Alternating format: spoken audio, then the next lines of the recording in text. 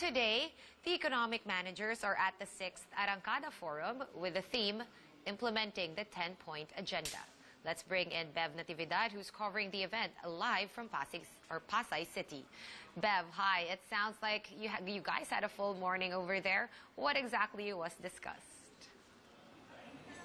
Then the DTI will have to help us bring more of these excellent products uh, the economic managers of President Rodrigo Duterte talked about the achievements of the administration in terms of the 10-point socio-economic agenda of the president when he first came into power, and of course the plans moving forward. But of course, the numbers were all the same. According to Mr. Pernia, we're on track to grow 6.9% um, for this year, uh, close to 6.9%. That benchmark, of course, comes from the GDP growth that the Philippines achieved in 2016. Um, the numbers are the, the same also in terms of spending, for example, for infrastructure, we're still expecting the 8.8 uh, over 8 trillion pesos in spending for infrastructure over the course of the term of Mr. Duterte. But what's interesting more is in the what happened in the conversations on the sidelines. Mr. Pernia, of course, told reporters today that he wants to be more aggressive in opening up businesses in different economic sectors here in our economy to foreign investments and foreign ownership,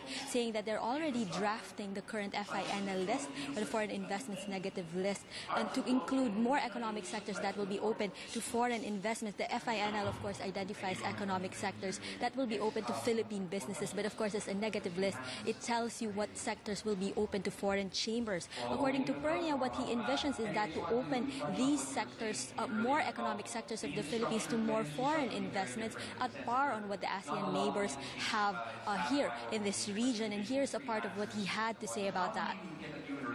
Well, they thought that it cannot be achieved. I said, no, no, we have to be more aggressive. I told them. So it's being revised now. Right, so the final form will be more aggressive and it will be uh, closer to the ASEAN. Uh, our argument is uh, we have to be at par with uh, ASEAN countries. No, no choice. Otherwise, we will still will continue to be left behind. Also for the part of budget secretary, of course, for the DBM, they're talking about being aggressive also. It's also the order of the day for that sector. According to Mr. Diokno, when we spoke to him this morning, they also want to be more aggressive, not just for, for spending in terms of infrastructure and other capital outlays, but also they want to aggressively monitor that what they plan to spend is actually spent on the ground or lose that budget, according to him. So here's what he had to say about that when we spoke to him this morning we're closely monitoring our spending, which was in the neighborhood of around 12%.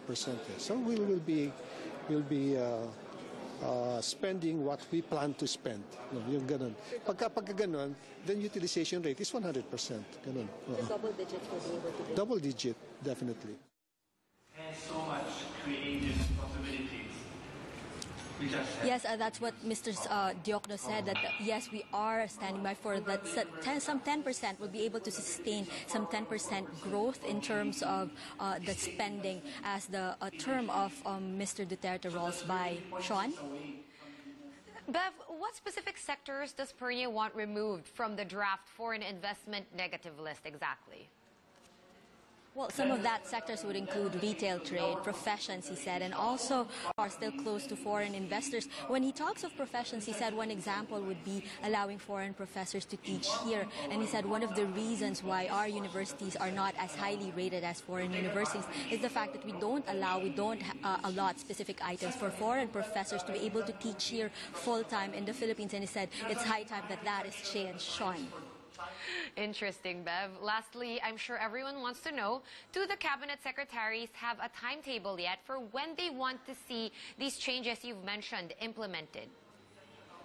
Well, Sean, what we have to know now is that um, it's currently being drafted now, and as, as the NEDA is working on that, they that will, of course, that paper will go up to the level of the NEDA board. Uh, they just met, so maybe next month's meeting, they said they plan to uh, finish that draft by the end of this month, and then probably get that to the ra to round uh, to get to the rounds of uh, different departments and different secretaries to so they can get their concurrence on the matter. But after that, he said, according to Mr. Pernia, they plan to target to have an EO specifically about the FINL before the end of this year. Sean.